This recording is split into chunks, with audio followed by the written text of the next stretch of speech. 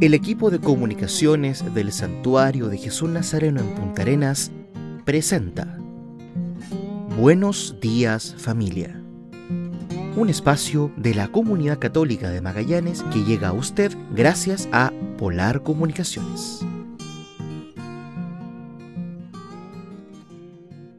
Hermanos y hermanas, feliz domingo. Somos el equipo de comunicaciones del Santuario de Jesús Nazareno que como en cada semana nos comunicamos con cada una y cada uno de ustedes a través de Polar Comunicaciones. Se da inicio al último mes del año y a la última semana del mes de María.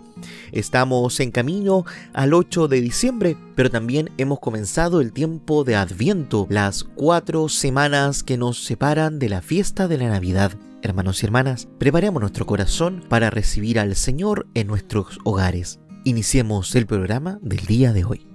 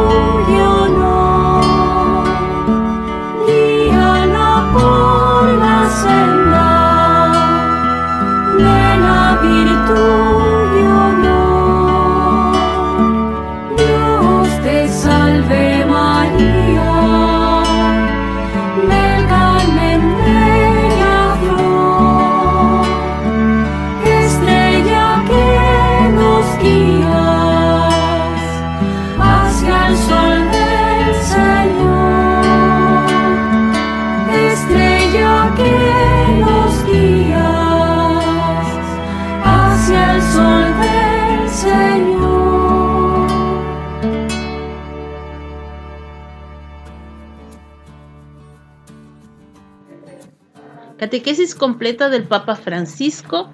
El anuncio es para hoy. En la audiencia general de este pasado miércoles 29 de noviembre, celebrada en el interior del aula Pablo VI, el Santo Padre continuó con su ciclo de catequesis sobre la evangelización y el celo apostólico. Debido a sus problemas de salud causados por una inflamación en los pulmones, el Papa Francisco no pudo leer el texto y en su lugar lo hizo Monseñor Filippo Ciampanelli, de la Secretaría de Estado de la Santa Sede. A continuación, la catequesis completa del Papa Francisco bajo el título El anuncio es para hoy. Queridos hermanos y hermanas, las veces pasadas hemos visto que el anuncio cristiano es alegría y es para todos. Hoy vemos un tercer aspecto, es para hoy. Casi siempre se oye hablar mal de hoy, ¿cierto? entre guerras, cambios climáticos, injusticias planetarias y migraciones, crisis de la familia y de la esperanza. No faltan motivos de preocupación. En general, el hoy parece habitado por una cultura que se pone al, al individuo por encima de todo y la técnica en el centro de todo, con su capacidad de resolver muchos problemas y sus gigantescos progresos en muchos campos. Pero al mismo tiempo, esta cultura del progreso técnico individual lleva a afirmar una libertad que no quiere ponerse límites y se muestra indiferente hacia quien se queda atrás. Y así entrega las grandes aspiraciones humanas a las lógicas a menudo voraces de la economía, con una visión de la vida que descarta a quien no produce y le cuesta mirar más allá de lo inmanente. Podríamos incluso decir que nos encontramos en la primera civilización de la historia que globalmente trata de organizar una sociedad humana sin la presencia de Dios, concentrándose en enormes ciudades que se mantienen horizontales aunque tengan rascacielos vertiginosos. Viene a la mente el pasaje de la ciudad de Babel y de su torre en él se narra un proyecto social que prevé sacrificar toda la individualidad a la eficiencia de la colectividad. La humanidad habla una sola lengua. Podríamos decir que tiene un pensamiento único. Está como envuelta en una especie de encanto general que absorbe la unicidad de cada uno en una burbuja de uniformidad. Entonces Dios confunde las lenguas, es decir, restablece las diferencias, recrea las condiciones para que puedan desarrollarse eh, unicidades, reanima lo múltiple donde la ideología quisiera imponer lo único. El Señor aparta a la humanidad también de su delirio de omnipotencia. Hagámonos un nombre, dicen exaltados los habitantes de Babel, que quieren llegar hasta el cielo ponerse en el lugar de Dios. Pero son ambiciosos, peligrosas, alienantes, destructivas, y el Señor, frustrando estas expectativas, protege a los hombres, impidiendo un desastre enunciado. Parece realmente actual este pasaje. También hoy la cohesión, más que la fraternidad y la paz, se basa a menudo en la ambición, en los nacionalismos la homologación en estructuras técnico-económicas que inculcan la persuasión que Dios sea insignificante e inútil, no tanto porque se busca un algo más de saber, sino sobre todo por un algo más de poder. Es una tentación que impregna los grandes desafíos de la cultura actual. En Evangelii Gaudium he tratado de describir algunas, pero sobre todo He invitado a una evangelización que ilumine los nuevos modos de relación con Dios, con los otros y con el espacio, y que suscite los valores fundamentales. Es necesario llegar allí, donde se gestan los nuevos relatos y paradigmas, alcanzar con la palabra de Jesús los núcleos más profundos del alma de las ciudades.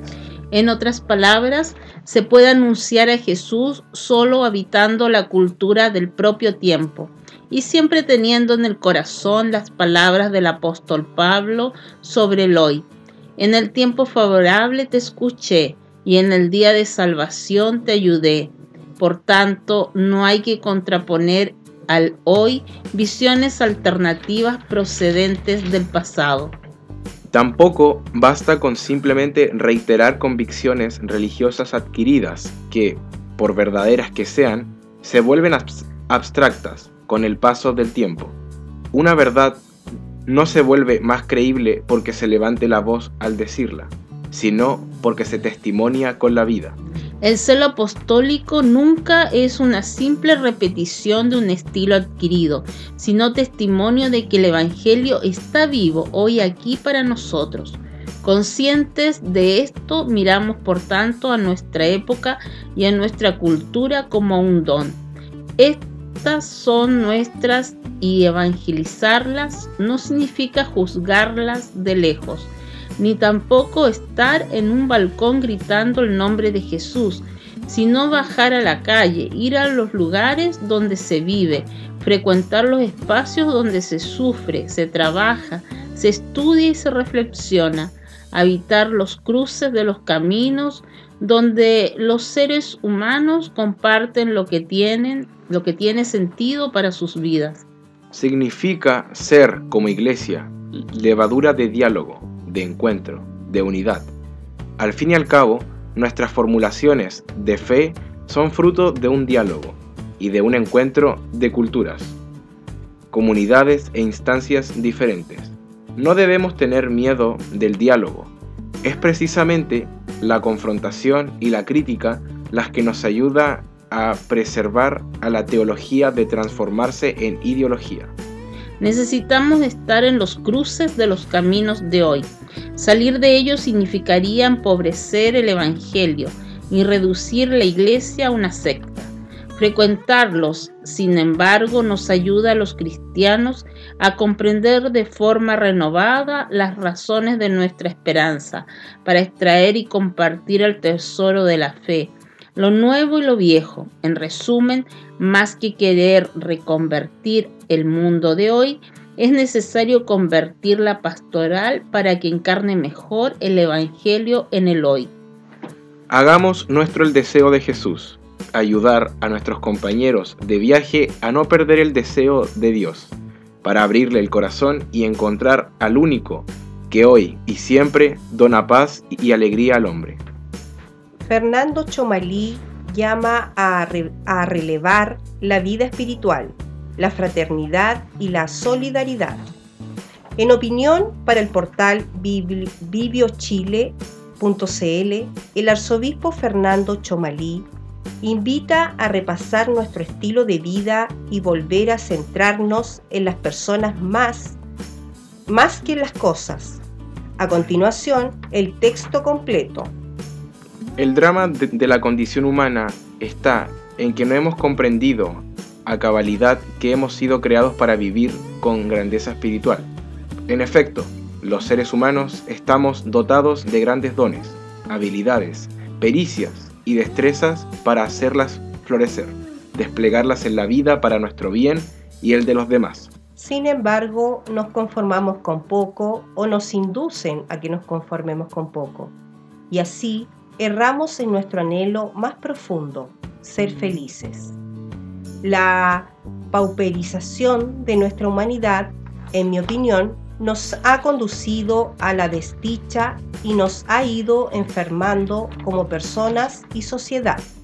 Sí, hemos sido creados para ser felices, pero el sistema nos ofrece constantemente cosas o experiencias más bien para entretenernos. Como consecuencia, no logramos la armonía en nuestras vidas, ni con nosotros mismos, ni con los demás. Tal vez esa sea una posible explicación del malestar existente en muchas personas y el aumento galopante de crisis matrimoniales y sociales, así como el aumento del consumo de drogas, alcohol y la generación del ambiente donde prima la desconfianza, la violencia y el miedo. Es triste apreciar que son cada vez más las personas que no duermen bien, comen de manera desordenada, están ansiosas, se sienten solas y siempre insatisfechas. Muchos se automedican sin el acompañamiento y la ayuda profesional necesaria. ¿No será esa una de las razones del aumento de enfermedades mentales en todos los sectores y ambientes de la sociedad? El panorama es desolador. El trabajo, factores fundamentales de crecimiento y ayuda en la sociedad, se ha vuelto simplemente un medio para obtener dinero, pagar las cuentas y si sobra algo, pasarlo bien, entretenerse, nada más. El trabajo, experiencia privilegiada para desplegar lo mejor de uno mismo y realizarse como persona y contribuir para un mundo más justo. Muchos lo consideran una mercancía que se tranza en el mercado, según la lógica de un mero insumo. ¿Qué manera de tergiversar la vocación de ser co-creadores del mundo y artífices de una sociedad mejor. ¿Cuántas personas viven aburridas sin horizonte de futuro más allá de lo inmediato?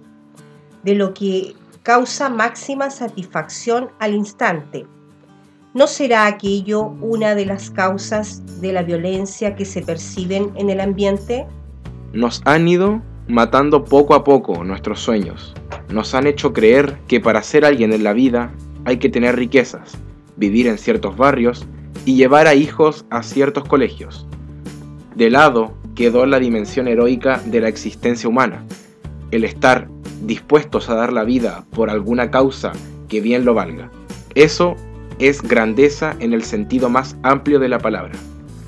De jóvenes soñamos con vivir de acuerdo a cómo pensamos y ya de adultos desencantados se termina pensando de acuerdo a cómo se vive.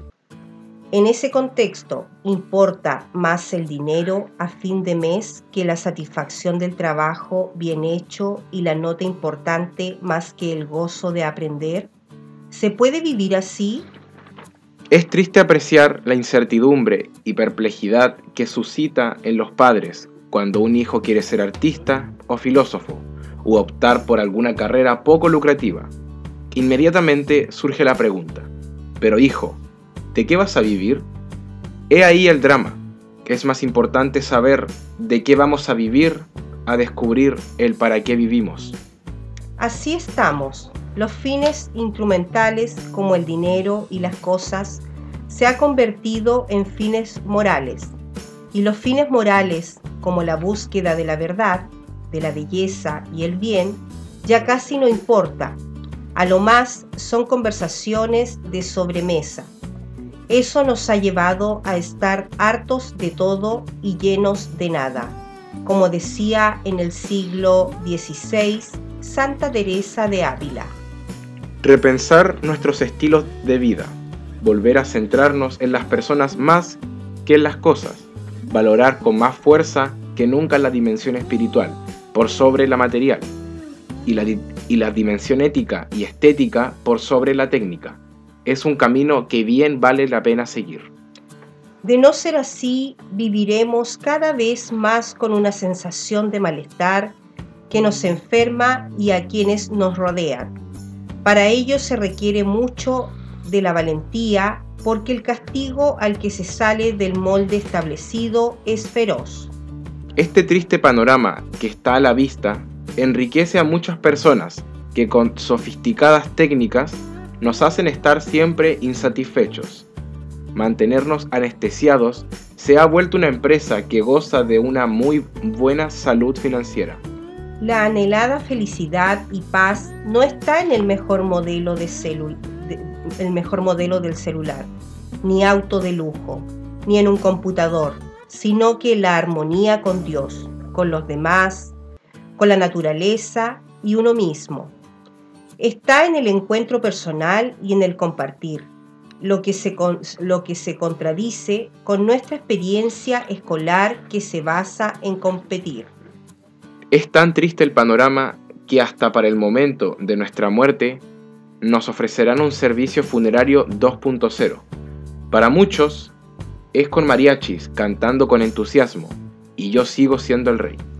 El sistema que nos rige nos está pasando gato por liebre y sin darnos cuenta porque se realiza con harto ruido, harto cotillón, risas y ofertas al por mayor. Es cosa de escarbar y un poco para descubrir que hemos construido una sociedad sin alma. Por estas y otras razones es que creo tanto en la relevancia de la vida espiritual, de la fraternidad y la solidaridad como proyecto de vida personal y comunitario. La amplia riqueza de Isla de Pascua es destacada en el Vaticano. La gran herencia de la pequeña Rapanui se titula la conferencia que abordará el patrimonio antropológico, histórico, social y religioso de este pequeño territorio polinésico chileno emplazado en medio del Océano Pacífico. Un pequeño territorio en medio del Océano Pacífico, cargado de historia y cultura, estará al centro del último encuentro de la serie, los jueves del museo, iniciativa organizada por los museos vaticanos se trata de Rapanui, también conocida como Islas de Pascua, una porción de tierra polinésica de 163,6 kilómetros cuadrados perteneciente a Chile y que, entre otros tesoros, custodia los famosos moais, enormes esculturas antropomorfas que evocan figuras ancestrales de la población local. Para adentrarse en la riqueza de esta cultura y de sus aportes a los desafíos del mundo de hoy, ya sea a nivel ecológico como sociológico, la dirección de los museos vaticanos y la Embajada de Chile ante la Santa Sede, con la colaboración de la Congregación de los Sagrados Corazones de Jesús y de María, han organizado el evento La Gran Herencia de la Pequeña Rapanui que tendrá lugar el jueves 30 de noviembre a las 16 horas, o que tuvo lugar el día jueves 30 en la sala de conferencias de los Museos Vaticanos. El enorme parque natural de la isla de Pascua fue declarado Patrimonio de la Humanidad por la UNESCO en 1995, lo que la convirtió en un atractivo destino turístico a nivel internacional. Sin embargo, Rapanui es mucho más que monumentos megalíticos y un paisaje exótico. Se trata de un verdadero laboratorio, de una sociedad que estuvo por décadas completamente aislada del resto del mundo y de sus mecanismos de adaptación para asegurar su supervivencia, asegura Sonia Oa Cardinali, arqueóloga y antropóloga chilena originaria de esta isla y de una de las dos personas que expondrán durante la conferencia. La investigadora también sostiene que esta particularidad del territorio pascuense le permite ofrecer sólidas enseñanzas para la promoción del desarrollo sustentable y claves acerca de la necesidad de combatir las causas, las causas del cambio climático. Además, las características tan particulares de esta isla, tan lejana de otros espacios habitados, ayudan a comprender los efectos positivos y negativos de los cambios culturales y tecnológicos aplicados en la sociedad. Pese a que los primeros europeos en llegar a la isla de Pascua lo hicieron a mediados del siglo XVII, no fue hasta 1864 que llegó oficialmente una misión evangelizadora de la mano del hermano Eugène Euraud, religioso de origen francés de la Congregación de los Sagrados Corazones de Jesús y María.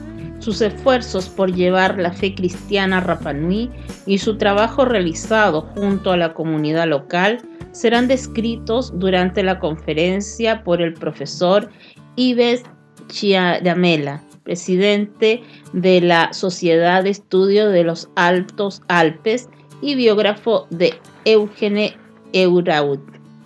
La gran herencia de la pequeña Rapanui será presentada conjuntamente por la directora de los Museos Vaticanos, Bárbara Hatta, la embajadora de Chile ante la Santa Sede, Patricia Araya Gutiérrez, y el curador del Museo Etnológico Anima Mundi, padre Nicolás Mapelli. Para la embajadora, entre otros objetivos, este evento busca dar a conocer parte de la diversidad cultural de Chile a través del testimonio de uno de sus pueblos originarios, en este caso los Rapanui, incorporados a Chile en 1888 con la firma del acuerdo de voluntades entre el Estado de Chile y los jefes de Rapanui. Desde ese momento se inició un largo proceso de incorporación plena de esa población con sus respectivos derechos sociales, civiles y políticos. Además, queremos destacar el hito que significó la llegada del cristianismo a la isla por medio del hermano Eugene Euiraud, cuya presencia cumplió un rol inestimable en la preservación arqueológica de fuentes y objetos destaca Patricia Araya. La conferencia La gran herencia de la pequeña Rapanui se puede revisar en línea a través de este link en los museos vaticanos. Aleluya.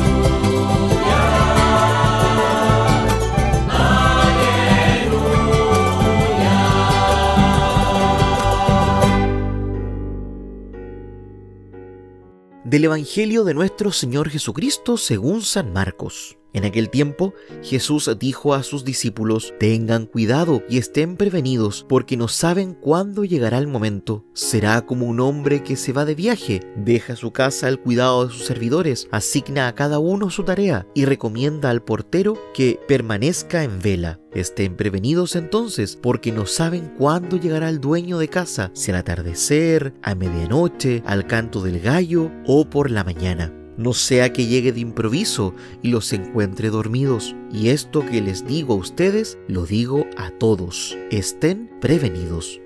Palabra del Señor. Gloria a ti, Señor Jesús. Esta es la palabra de Dios.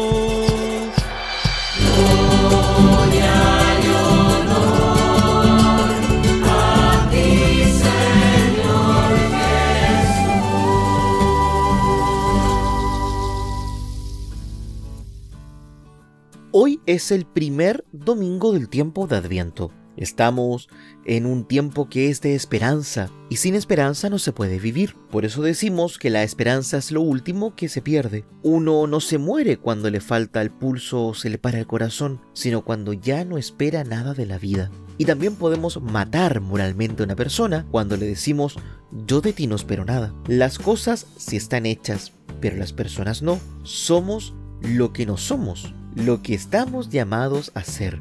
Y siempre podemos evolucionar, arrepentirnos, desandar el camino, cambiar.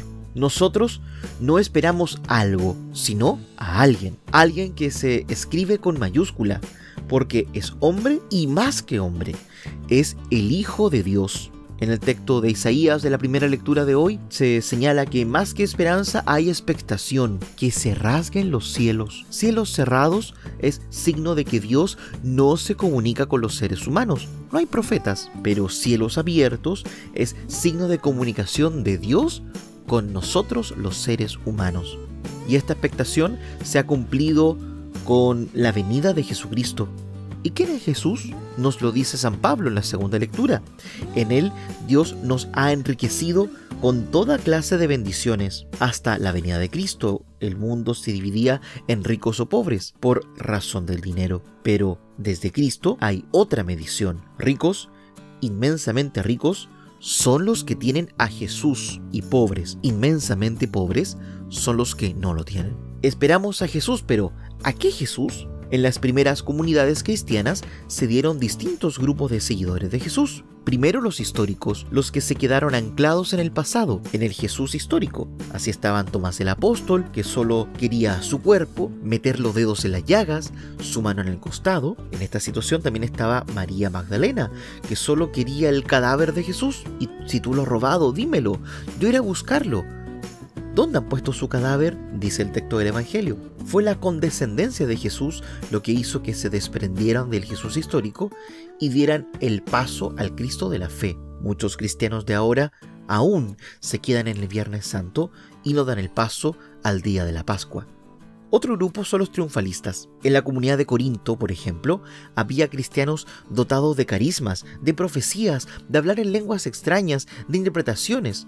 Eran felices porque creían que allí se estaba reproduciendo las grandes señales del Éxodo. Pero aquellos cristianos estaban viviendo a Cristo solo en su parcialidad. No creían en su propia resurrección. San Pablo arremete contra ellos y dice, ¿cómo es posible que algunos digan que los muertos no resucitan? Si los muertos no resucitan, tampoco Cristo ha resucitado. Hay algunos cristianos que se encuentran muy bien con un Cristo para esta vida. Lo importante es triunfar, aunque sea unidos al carro del poder o del dinero. Esa es una iglesia pobre solo triunfalista. También están los nostálgicos. Aquellos judíos que se convirtieron al cristianismo echaban de menos las grandes ceremonias del templo de Jerusalén con sus sacrificios, sus vestiduras sagradas, el incienso. Los cristianos solo tenían unas ceremonias sencillas con un poco de vino y un poco de pan, aunque con mucho amor y con un Cristo resucitado que se hacía presente en esos signos sencillos.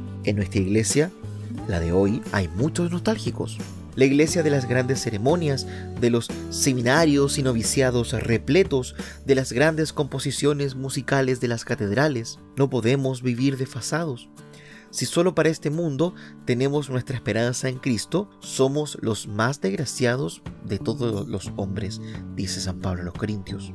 Lo importante es tener esperanza en Cristo resucitado. Cristo ha abierto una puerta que ya nadie puede cerrar. Es la puerta de la esperanza, de la alegría, del entusiasmo, de la vida. Hay que creer contra toda esperanza, dice San Pablo a los romanos, y lo comentaba así Kierkegaard, los grandes hombres serán celebrados en la historia. Cada uno de ellos fue grande según aquello que esperó.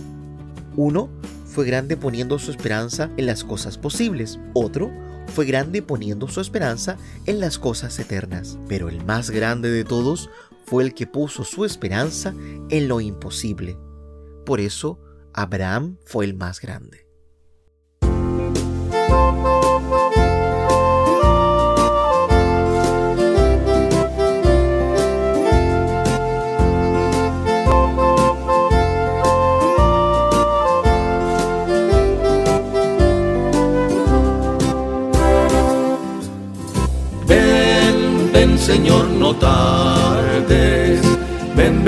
Que te esperamos, ven, ven Señor, no tardes, ven pronto Señor. El mundo muere de frío, el alma perdió el calor, los hombres no son hermanos. El mundo no tiene amor. Señor, no tardes, ven, ven que te esperamos. Ven, ven Señor, no tardes, ven pronto Señor. Envuelto en sombría noche, el mundo sin paz no ve buscando va una esperanza, buscando Señor tu fe. Ven, ven Señor, no tardes, ven, ven que te esperamos. Ven, ven Señor, no tardes, ven pronto Señor. Al mundo le falta vida al mundo le falta luz, al mundo le falta el cielo, al mundo le faltas tú. Ven, ven Señor, no tardes, ven, ven que te esperamos. Ven, ven Señor, no tardes, ven pronto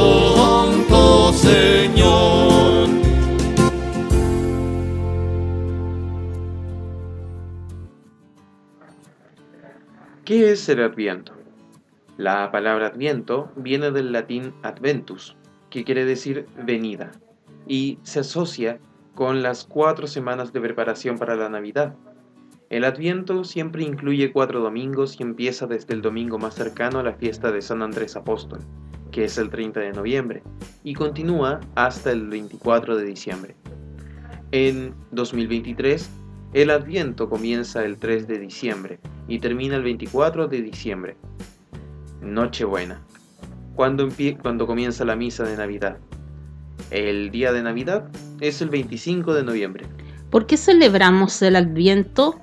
El Catecismo de la Iglesia Católica en su número 524 nos dice, al celebrar anualmente la liturgia de Adviento, la Iglesia actualiza esta espera del Mesías, participando en la larga preparación de la primera venida del Salvador.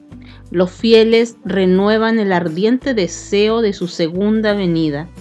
Celebrando la Natividad y el martirio del precursor, la Iglesia se une al deseo de éste. Es preciso que Él crezca y que yo disminuya.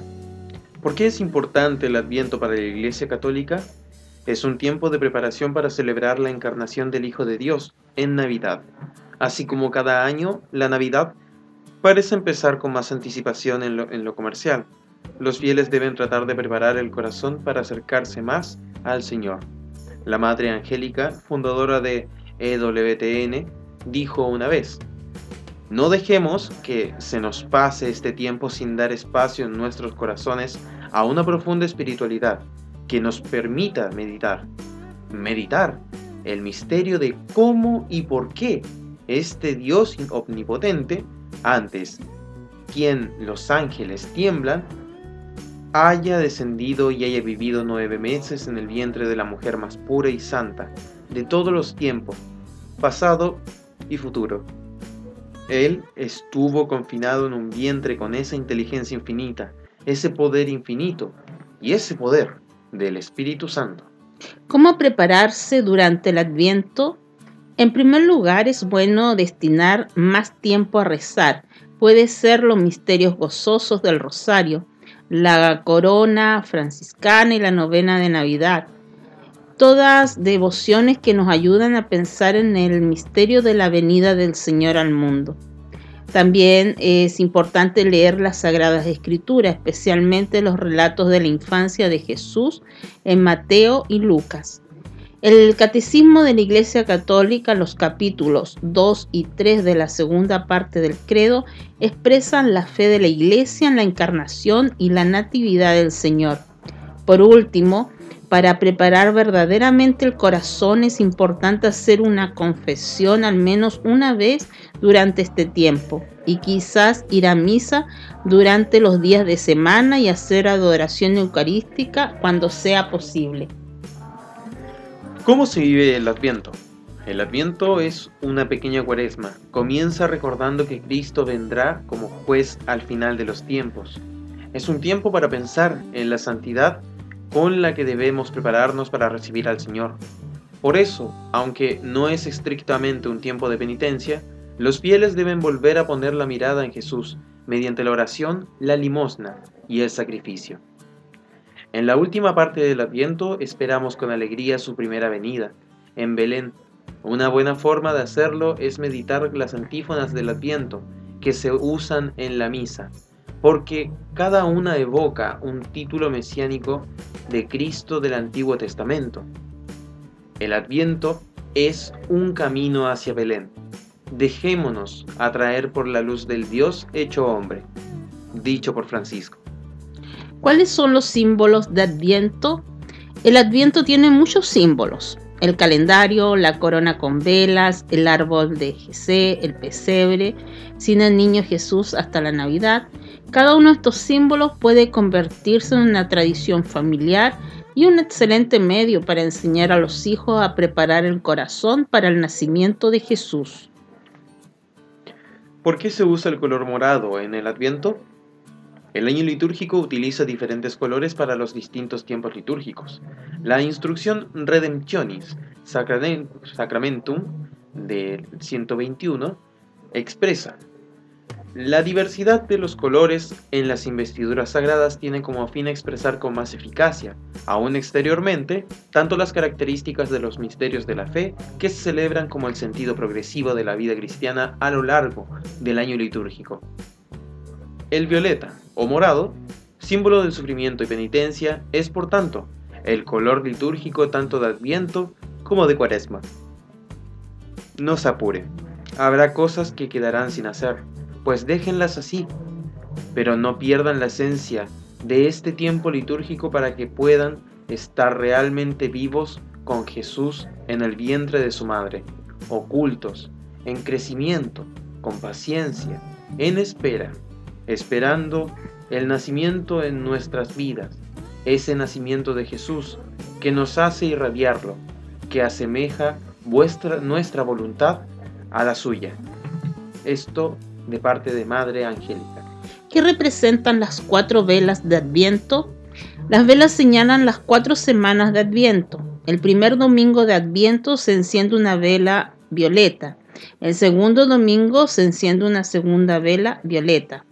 El tercer domingo se enciende una vela rosada y el cuarto domingo la última vela que también es morada.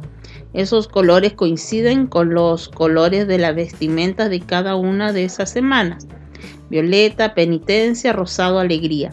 La corona de Adviento nos recuerda el tiempo antes de Jesús, cuando el mundo vivía una oscuridad espiritual. Durante Adviento recordamos los días del Antiguo Testamento mientras anticipamos con ansia el nacimiento de Jesús en Navidad. Y para no olvidarnos, ¿qué vela se enciende primero? En la primera semana, una vela violeta. Para la segunda semana, se, adicionalmente a la vela encendida la primera semana se enciende otra vela violeta. Para la tercera semana se encienden dos velas de las semanas anteriores y la vela rosada. Y para la cuarta semana se encienden las cuatro velas. En el Adviento el pueblo cristiano revive un doble movimiento del espíritu. Por una parte, eleva su mirada hacia la meta final de su peregrinación en la historia, que es la vuelta gloriosa del Señor Jesús.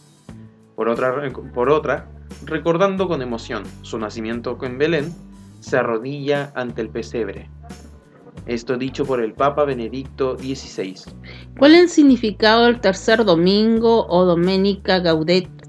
La palabra latina Gaudet, alégrate, es la primera palabra de la antífona de la entrada de la misa del tercer domingo de Adviento. Nos llama a alegrarnos porque se acerca la venida del Señor. Ese día el sacerdote se reviste con vestimentas rosadas en lugar de moradas.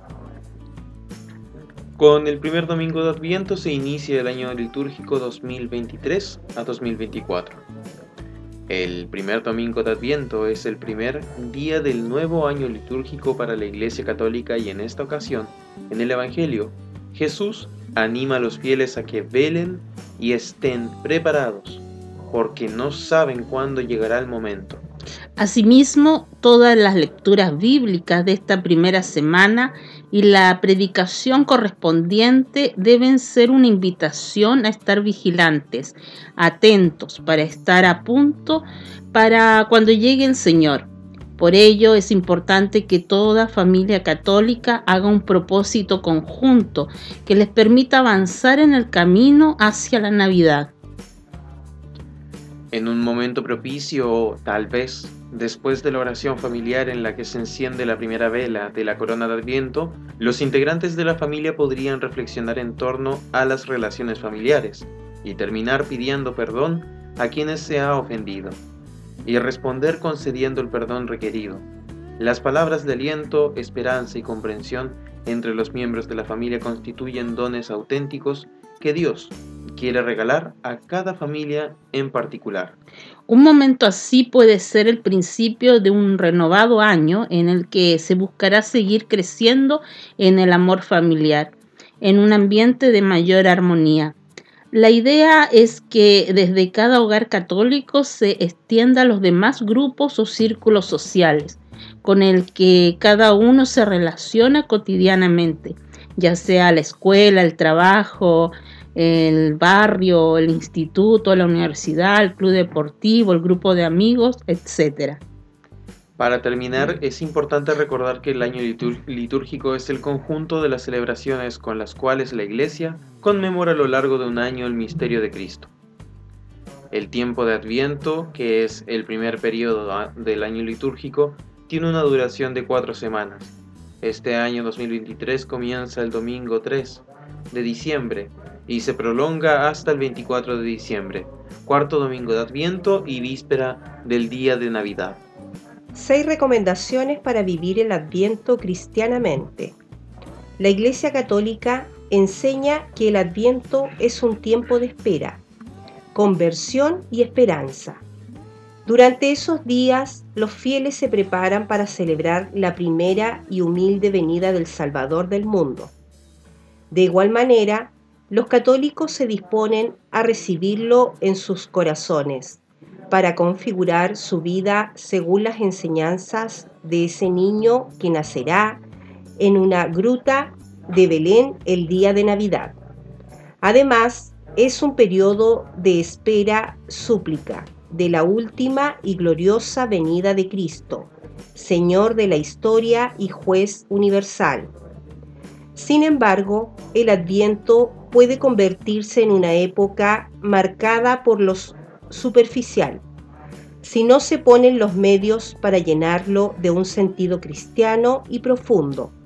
Es por esto que el dicasterio para el culto divino y la disciplina de los sacramentos ofrece una serie de recomendaciones para vivir adecuadamente estos días de preparación para la Navidad. Estas recomendaciones fueron publicadas en el 2002 en el capítulo cuarto del Directorio sobre la Piedad Popular y la Liturgia. 1. Meditar sobre la fe y la humildad de María. Este directorio recuerda que durante el Adviento se celebra con frecuencia y, y de modo ejemplar a la Virgen María, especialmente en la solemnidad de la Inmaculada Concepción que se conmemora el 8 de diciembre, o en la fiesta de Nuestra Señora de Guadalupe, el 12 de diciembre. Por ello, invita a reflexionar sobre la actitud de fe y de humildad con que María de Nazaret se adhirió, total e inmediatamente, al proyecto salvífico de Dios. 2. Evita caer en el consumismo. El documento advierte, por otro lado, que en la actualidad los valores del adviento se ven amenazados por las costumbres de convertir la preparación a la Navidad en una operación comercial, llena de propuestas vacías, procedentes de una sociedad consumista. Por ello, llama a orar y meditar para no olvidar el sentido del adviento y así celebrar el nacimiento de Jesús, en un clima de sobriedad y de sencillez alegre, y con una actitud de solidaridad para con los pobres y marginados. 3. Que toda la familia arme el pesebre de Belén. Otra propuesta es que toda la familia participe en el armado del pesebre, porque es una oportunidad para que entren en contacto con el misterio de la Navidad. Asimismo, invita a que los miembros de la familia se recojan en un momento de oración o de lectura de las páginas bíblicas referidas al episodio del nacimiento de Jesús. 4. Rezar la novena de Navidad. El directorio sobre la piedad popular y la liturgia indica de igual forma que la novena de Navidad es un ejercicio de piedad valioso que ayuda a preparar el corazón para la celebración del nacimiento del niño Jesús. También destaca que es una práctica antigua, que nació para comunicar a los fieles las riquezas de una liturgia a la cual no tenían fácil acceso. La novena de Navidad comienza el 16 de diciembre y termina el 24 de diciembre. 5. Lecturas bíblicas que invitan a la conversión. Otra recomendación es profundizar en los pasajes bíblicos que se leerán durante el Adviento, porque invitan a la conversión mediante la voz de los profetas y sobre todo de Juan Bautista. Conviene tener en cuenta que Dios mantenía, mediante las profecías, la esperanza de Israel en la venida del Mesías, y que está sólidamente enraizada en el pueblo cristiano, la conciencia de la larga espera que precedió a la venida del Salvador. 6 rezar la corona de Adviento y preparar las posadas. El rezo de la corona de Adviento y el encendido de sus cuatro velas se ha convertido en un símbolo de este tiempo de preparación en los hogares cristianos. En ese sentido, el documento explica que en el encendido de cada vela correspondiente a los cuatro domingos de Adviento se recuerdan las diversas etapas de la historia de la salvación antes de Cristo. También invita a participar en la celebración de las posadas, una tradición española y latinoamericana, que representa el camino de José y María hacia Belén y su búsqueda en un lugar acogedor para el nacimiento de Jesús. Preparemos el Adviento en familia. Como cada año, con el primer domingo de Adviento comenzamos un camino de preparación para llegar a la fiesta de la Navidad, pero en pocas ocasiones reflexionamos sobre el por qué existe esta época. Sobre todo ahora que la sociedad nos quiere vender todo meses antes, haciendo que se pierda el sentido trascendente del Adviento. Como todo tiempo de preparación interior, requiere de silencio, meditación, reflexión y sobre todo de un propósito firme de renovación del corazón todo esto en medio de las fiestas y celebraciones de posadas que cada vez son más seculares porque la sociedad nos invita a celebrar sin tener en cuenta el sentido profundo de las celebraciones. Está en nuestras manos buscar nuestra familia, que nuestra familia pueda vivir esta época más espiritualmente. Por eso aquí les dejamos cinco tips para lograrlo. Primero, Investiga qué significa Adviento. Esto es básico para poder vivir de forma integral esta época previa a la Navidad. En muchas ocasiones ni nosotros sabemos a ciencia cierta para qué sirve o cómo se debe vivir en familia. Recordemos que nadie da lo que no tiene, por eso es necesario estar convencidos para convencer a nuestra familia. Segundo, prepara material didáctico. Cuando tenemos hijos pequeños es bueno hacer algunas gráficas o láminas donde nuestros pequeñitos puedan entender el verdadero sentido del adviento. Si nuestros hijos ya son más grandes, podemos buscar lecturas, películas y material que nos permitan contagiarlos de este ambiente de recogimiento y preparación que debemos vivir en familia. Existen calendarios de adviento que se pueden vivir en familia y otros para los hijos pequeños que nos ayudan a que este adviento sea más espiritual. Tercero, ten lista la corona. En muchas ocasiones solo ponemos la corona del viento por costumbre, pero es necesario hacer conciencia de lo que significa y a lo que nos estamos comprometiendo al ponerla. Para esto es muy bueno que nuestros hijos nos ayuden a ponerla. Conforme vamos acomodando las velas, podemos ir conversando con ellos sobre el sentido que tiene la preparación para recibir a Jesús en nuestro corazón. También debemos estar atentos a prender las velas cada domingo en familia. También existen cápsulas en video que nos pueden ayudar como guía, pero nosotros podemos también implementar algo más didáctico si nuestros hijos así lo requieren. Cuarto, vive los propósitos de Adviento. Es muy sencillo entender esto porque es una forma de ir preparando el alma para recibir a Jesús. Es como si vamos a tener una fiesta y vamos limpiando la casa poco a poco, para que el día que lleguen los invitados esté digna de ellos. Imagínate con este invitado que es el Rey de Reyes. Nuestro corazón debe estar reluciente y por eso debemos trabajar durante este tiempo para lograrlo. Dios ve nuestras intenciones, así que aunque no logremos hacer muy notorios nuestros cambios de, actitud, es importante sí hacer todo lo que esté en nuestras manos para lograrlo. Y quinto, nuestro ejemplo es importantísimo. Si nuestros hijos ven en nosotros una actitud diferente, llena de amor de Dios por los demás, dispuesto a servir a todos sin esperar nada a cambio, seguro que ellos desearán hacer lo mismo, porque esa alegría que se irradia se contagia en nuestra familia. Y sobre todo un adviento más espiritual y menos materialista, donde lo más importante sea ir puliendo nuestra alma, para que esté lista y preparada para recibir a Jesús en ella. Debemos empezar a vivir el adviento nosotros para que nuestra familia llegue a vivirlo también. Las mamás son el pilar de la familia, pero los papás son el corazón de la familia. Así que los papás también deben estar incluidos en la vivencia de esta época de adviento. Ojalá que todo el ambiente de la casa sea propicio para esta época de reflexión y de preparación para la Navidad, es decir, para que Jesús pueda nacer en nuestros corazones y que la vivamos profunda y festivamente en familia. Compartimos con cada una y cada uno de ustedes las noticias que el amigo de la familia, nuestro semanario diocesano, nos trae en este domingo 3 de diciembre.